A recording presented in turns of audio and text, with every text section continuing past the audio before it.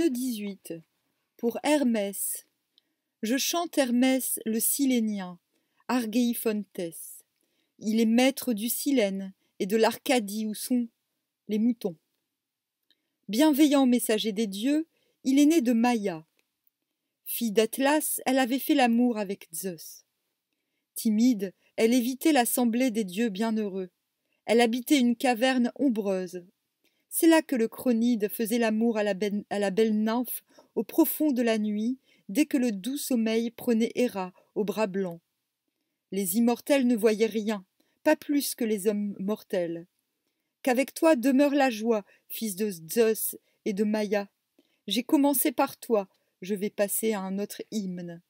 Sois dans la joie, Hermès bienveillant, qui donne grâce et bien. Mais il fait croire à tous les dieux qui commencent par eux. Hein. Un petit peu hypocrite, hein, Homère.